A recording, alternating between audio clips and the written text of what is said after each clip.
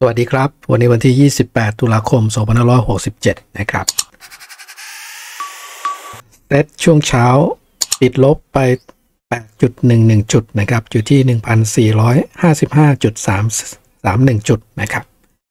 วันนี้เราก็จะเก่งกำไรนะครับ จากการที่เม็ดเม็ดเงินของนักลงทุนไหลเข้าหุ้นตัวใดมากที่สุดนะครับ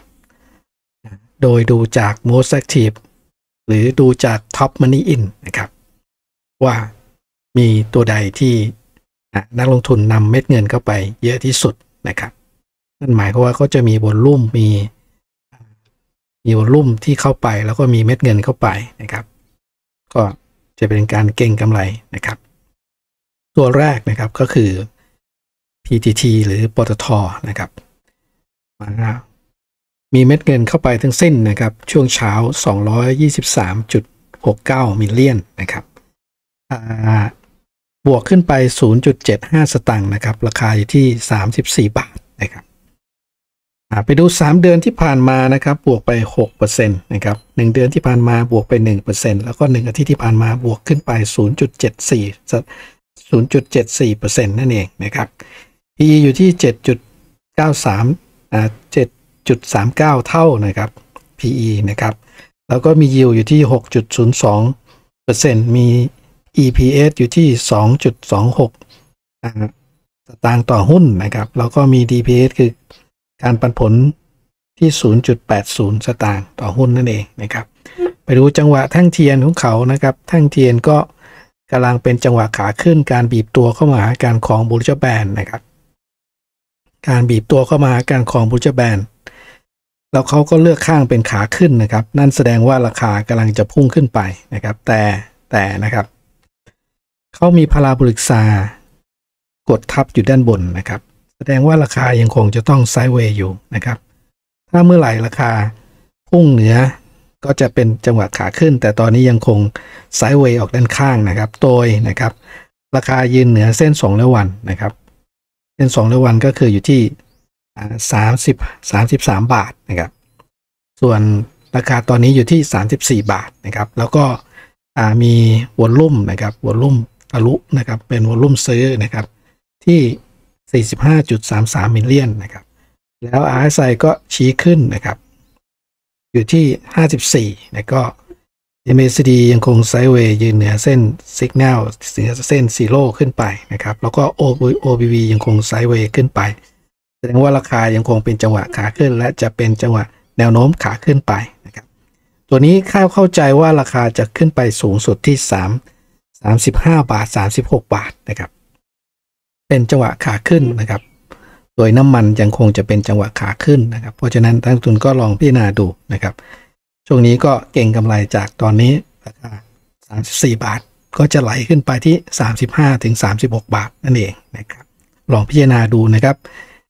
ต้องใจเย็นนะครับท่านนักทุนครับถัดมานะครับ BPL นะครับตัวที่ 2 ของ Top Money In นะครับ BPL วันนี้ก็มีเม็ดเงินเข้ามาในช่วงเช้า 195.41 มิลเลียนนะครับ แล้วก็บวกขึ้นไป 3 บาทนะครับ ก็ถือว่าเป็นผลมาจากการประกาศผลการดำเนินงานนะครับไตรมาส3นะครับ แล้วก็บวกขึ้นไป 3 บาทอยู่ที่ 151 บาทนะครับสลับ BPL นะครับสามเดือนที่ผ่านมาก็บวกไป 10%แต่ว่า 1 เดือนที่ผ่านมาก็ลบไป1%นะครับแล้วก็1อาทิตย์ที่ผ่านมาก็ลบไป 1%เช่นเดียวกันนะครับ PE อยู่ที่ 6.64 เท่านะครับ มีมี yield ที่ 4.73%มี EPS ที่ 11.70อ่าสตางค์ต่อหุ้น แล้วก็มีการปันผลหรือ DPS ที่ 2 บาทนะครับ ก็ถือว่ากำลังไปได้สวยนะครับสลับตัว BPL นะครับ ไปดูจังหวะแท่งเทียนของเขาก็บอกว่ากำลังจะพุ่งแรงขึ้นไปนะครับ เนื่องจากว่า Bollinger Band กำลังบีบเข้าไปหากัน แต่ว่าราคานั้น ราคายังอยู่ต่ำกว่ากึ่งกลาง Bollinger Band เพราะฉะนั้นตัวนี้มีโอกาสที่จะเป็นราคาพุ่งทะลุขึ้นไปนะครับก็ถ้าดูจากการราคาล่าสุดก็เหมือนกับเป็นเป็นเป็นสัญลักษณ์ของการ return หรือหรือ turnaround ราคานะครับ ตรงนี้นะครับ เป็นจังหวะของราคาที่กำลังดีดกลับขึ้นไปนั่นเองนะครับเห็นได้จาก RSI ชี้ขึ้นนะครับ MACD ก็กำลัง sideway จะกลับขึ้นไป OBV ก็กำลัง sideway ถึง sideway ไปด้านข้าง แล้วก็ volume เข้าไปในเล็กน้อยนะครับ มี volume เพียง 4.23 million นั่นเองนะครับ ตัวนี้ก็ราคาจะค่อยๆ sideway ขึ้นไปนะครับ ถ้าพุ่งก็จะพุ่งขึ้นไปที่กรอบ regression ด้านบนสุดนะครับ ก็ถือว่าเป็นโปเป็นโมเป็นโมเมนตัมเป็นโมเมนตัมขาขึ้นแต่แต่นะครับจะต้องดูก่อนนะครับว่า ตอนนี้ราคายังอยู่ต่ำกว่าเส้น Bollinger Band ตรงกึ่งกลางนะครับ เพราะนั้นต้องลุ้นให้ราคาจะต้องราคานั้นจะต้องพุ่งสูงกว่า ถ้าเกิดท่านจะให้มันเลยจุดที่ คือราคาถ้ามันพุ่งขึ้นไปตรงจุดตรงนี้นะครับ คือเส้นเทรดตรงนี้ ราคาต้องสูงกว่าเส้นกึ่งกลางบูลิจแบนนะครับ หรือราคาต้องเป็นจังหวะขาขึ้นเลยอยู่ที่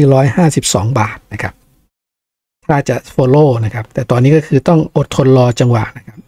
ถ้าราคาเลยขึ้น 152 บาท ก็จะอกมีโอกาสไซด์เวย์ขึ้นไปที่ร้อยร้อยห้าสิบเจ็ดบาทนะครับ ก็ลุ้นกันนะครับท่านนักทุนก็ลองพิจารณาดูนะครับ ด้วยความมั่นใจนะครับ เพราะฉะนั้นก็ยังคงมีโอกาสที่ทำเกินเก่งกำไรกันต่อไปนะครับสำหรับ BBL นะครับ อันดับที่3นะครับเม็ดเงินครับอันดับที่ 3 ของเช้านี้ก็ True นะครับมีเม็ดเงินเข้าไปทั้งสิ้น 152.55มิลเลียนนะครับแม้ว่าราคาย่อตัวลงมานะครับก็เนื่องจากว่าราคาพุ่งเกินกรอบเส้นสูงสุดของกรอบ r e d e l e g a t i o n นะครับ ราคาก็ยืนย่อลงมาอยู่ที่ลบ 0 20 สตางค์นะครับ อยู่ที่ 11.90 บาทนะครับเนื่องจากว่า 3 เดือนที่ผ่านมาเขาก็บวกไป 28%นะครับ 1 เดือนที่ผ่านมาก็บวกไป 6%และ1อาทิตย์ที่ผ่านมาไม่บวกไม่ลบนะครับ PE ไม่มี U ไม่มี DPS ไม่มี แล้วก็แต่ว่ามี EPS ติดลบอยู่ 0.0 0.08 สตางค์นะครับ ตัวนี้ก็ต้องลุ้นกันต่อไปนะครับ เพราะว่าเพิ่งเป็นปีแรกในการที่ปรับปรุงบริษัทนะครับในการควบรวมระหว่าง d t แทกับชูนะครับ เพราะนั้นต้องดูจังหวะของการดำเนินงานให้ดีต่อไปนะครับ จังหวะของแท่งเทียนของกราฟของเขาก็ดูเหมือนว่าจะค่อยๆไซด์เวย์ขึ้นไปนะครับยังคงอย่างที่เรียนให้ได้ทราบว่าราคานั้น ขึ้นไปอยู่เหนือเส้นกรอบรีเนเ a ชันสูงสุดแล้ว จังหวะถัดมาเขาก็จะต้องย่อแต่ว่า ราคายังคงจะต้องไซเวย์ขึ้นต่อไปนะครับ โอกาสที่ราคาจะพุ่งขึ้นไปที่13 บาทนั้นก็มีสูงนะครับ ตอนนี้ราคาอยู่ที่ 11 บาทนะครับ ตัวนี้ก็เหมือนกับว่าราคาขึ้นไปทำกำไรนะครับ ก็ต้องมีการเทขายเพื่อทำกำไรนะครับ แต่ว่าโอกาสอันเหมาะเจาะของเขายังคงจะต้องย่อลงมาที่ราคา 10 10 11 บาทนะครับ 11 บาท 90 อ่า11บาท11บาท11บาท77นะครับแล้วก็จะเด้งกลับขึ้นไปที่13บาทนะครับ ก็รอลุ้นกันเช่นนี้ เพราะว่าวอลลุ่มยังคงเป็นวอลลุ่มเข้าเข้าซะส่วนใหญ่นะครับ เป็นวอลลุ่มซื้อนะครับที่108.40 million นะครับแม้ว่า RSI ชี้ลงนะครับ ก็ตอนนี้ก็เป็นขาลงนิดเล็กน้อย แต่ว่าโอกาสที่จะดีดกลับขึ้นไปนั้นก็มีสูง แต่ว่าตอนนี้ราคาลงมาที่ 58 นะครับ ก็ถือว่ายังคงเป็นจังหวะขาขา sideway ไปทางด้านข้าง เช่นเดียวกันกับ MACD ที่ยังยังคง sideway ไปทางด้านข้าง ยืนเหนือกว่าเส้น zero แล้วก็แต่ว่ายังต่ำกว่าเส้น signal นะครับ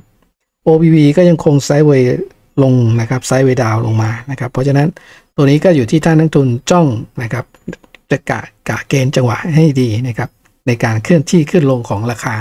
แต่เราก็ยังยืนยันยันว่า ทูยังคงเป็นจังหวะขาขึ้นนะครับ ยังคงเป็นจังหวะขาขึ้นใน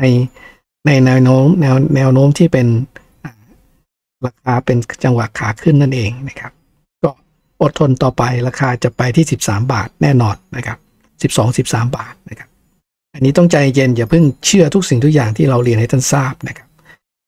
มาที่ตัวที่ 4 ก็คือ BTS นะครับ BTS อยู่ที่บวกขึ้นมา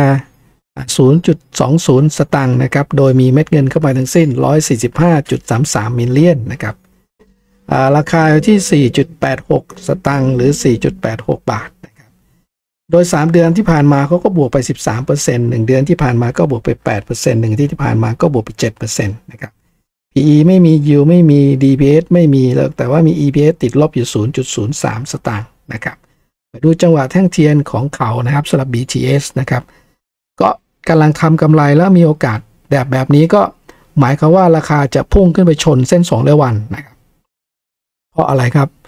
ทำไมถึงต้องพุ่งไปชน เพราะว่าถ้าเกิดค่อยๆไซเวย์ขึ้นไป ใกล้ๆนี่เองนะครับ ก็จะพุ่งไปชนเส้น2เดือวัน แล้วก็ไซเวย์ขึ้นทะลุเส้น2เดือวัน เพื่อดึงกรอบ linear regression เดิมทีที่มันไซเวย์ไปทางด้านข้าง ให้ไซเวย์อัพขึ้นไปนะครับ ทีนี้เขา BTS เขากำลังจะเปลี่ยนทิศทางนะครับ เปลี่ยนเปลี่ยนเทนนะครับเส้นไลน์กำลังจะพุ่งขึ้น เห็นได้จากกวอลลุ่มเข้านะครับvolume เข้านะครับ เช้านี้ก็เข้าไปที่ 168.06 million แล้วก็ RSI ชี้ขึ้นไปที่ o b o t นะครับ ไปที่ 66 นะครับ แล้วก็ MACD ยังคง sideway ยืนเหนือเส้น zero เป็นแนวโน้มขาขึ้นอันดีงาม แล้วก็ OBV ก็ยังคง sideway up ขึ้นไป ยืนยันว่าราคา กำลังจะค่อยๆ พุ่งทะลุขึ้นไปที่เส้นสองสองร้อยวันนะครับ เพราะว่าเขาอยู่ใกล้กันยังไงก็จะต้องพุ่งทะลุขึ้นไป แล้วราคาก็จะค่อยๆไซด์เวย์ขึ้นไปนะครับสำหรับตัว BTS นะครับ ก็ถือว่าเป็นจังหวะขาขึ้นเป็นจังหวะทำกำไรนะครับ แต่ถ้าเกิดท่านนักทุนยังไม่ไว้ใจก็ตั้งคัดลอตเอาไว้ก็ได้นะครับ แต่ว่าเราดูแนวโน้มแล้วราคาจะค่อยๆไซด์เวย์ขึ้นไปนั่นเองนะครับ ถัดมานะครับตัวสุดท้ายของวันนี้นะครับก็คือ CCET นะครับ CCET นะครับมีเม็ดเงินทั้งสิ้นเข้าไป 93.96 มิลเลียนนะครับโดยบวกขึ้นไป 0.30 สตังค์นะครับอยู่ที่ 5.40 บาทนะครับโดย 3 เดือนที่ผ่านมาก็บวกไป 45% 1 เดือนที่ผ่านมาก็บวกไป 42% 1 อาทิตย์ที่ผ่านมาก็บวกไป 4.83%นะครับ PE อยู่ที่ 30 เท่านะครับ มี yield อยู่ที่ 1.91%แล้วก็มี EPS ที่ 0.12 สตางค์ต่อหุ้น แล้วก็เคยมีการปันผลที่ 0.07 สตางค์ต่อหุ้นนั่นเอง ไปดูจังหวะกราฟนะครับ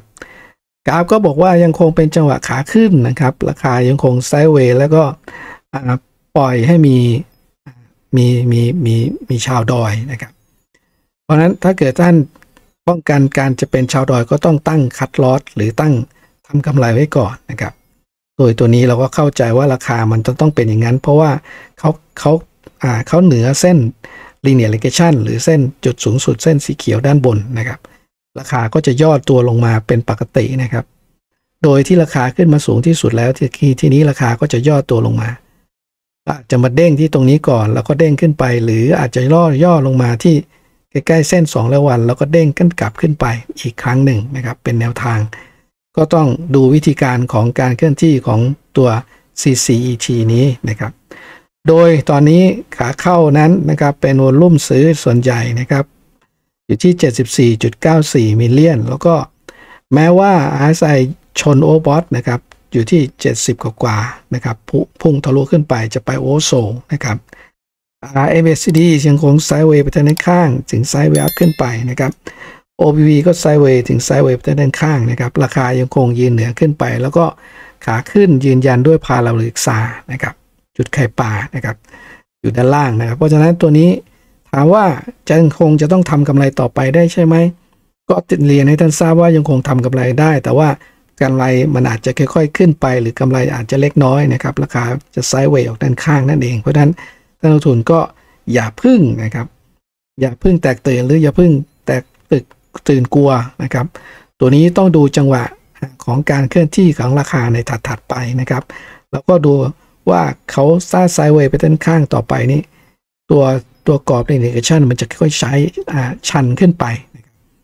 ขึ้นไปปิดกรอบนะครับ แต่ว่าถ้าเกิดเขาหมดทางหรือหมดแรงในการไซเวย์ขึ้นไปเขาก็จะค่อยๆไซเวย์ดาวลงมานะครับ เราก็รอจังหวะที่เข้าลงมาต่ำสุดก่อน ค่อยเข้าช้อนซื้อแล้วก็ราคามันก็จะเด้งกลับขึ้นไปนะครับมันเป็นเป็นตามตามวัฏจักรของราคานะครับคือเมื่อมันขึ้นไปสูงสุด มันก็ต้องเหวี่ยงลงมาต่ำสุด ต่ำสุดของมันก็คืออยู่ที่กรอบ linear regression นั่นเอง สีแดงข้างล่างนะครับแล้วก็มันจะเด้งกลับขึ้นไปที่สีเขียวด้านบนนั่นเอง ก็ทำกำไรอีกรอบหนึ่งนักทุนก็ลองโปรดพิจารณานะครับ นี่ก็คือแนวโน้มทั้งหมดที่เรานำมาให้ท่านนักทุนได้ลองอ่ารับทราบแล้วก็ดูวิเคราะห์วิจารณ์ แนวโน้มของการเคลื่อนที่ของราคานะครับเมื่อเรารู้การเคลื่อนที่ของราคา เป็นแนวโน้มขาขึ้นเป็นโมเมนตัมขาขึ้น เราก็เก่งกำไรในขาขึ้น แต่ถ้าดูแนวโน้มมันเป็นแนวโน้มไซด์เวย์ไปด้านข้างถึงไซด์เวย์ดาวลงมา ก็ทำการคัดลอสเพื่อป้องกันการขาดทุนนั่นเองฝากนักทุนได้พิจารณาไปด้วยนะครับกรุณากดแชร์ กดถูกใจ กด subscribe กดกระดิ่งแจ้งเตือนถ้าเกิดว่าท่านชื่นชอบนะครับ แล้วก็ขอบพระคุณทุกท่านที่กรุณาสมัครสมาชิกเข้ามา ขอประทานอภัยที่ไม่ได้มีคลิป เพราะถ้าเฉพาะสมาชิกมาหลายอาทิตย์แล้วนะครับ ต้องกราบขอประทานอภัยเนื่องจากสุขภาพไม่ก็ดี ตอนนี้ก็เริ่มกลับมานะครับลุงก็กลับมามีสุขภาพดี แล้วก็ค่อยๆจัดการให้กับทำคลิปเข้ามาเรื่อยๆนะครับยังไงต้องขอประทานอภัยที่คลิปขาดขาดให้หายไปนะครับ ก็ฝากท่านทุน ได้ติดตามกันต่อไปนะครับ ยังไงก็จะมีคลิป แล้วก็วิธีการที่จะดูว่าหุ้นตัวไหนจะเด่นหุ้นตัวไหนจะ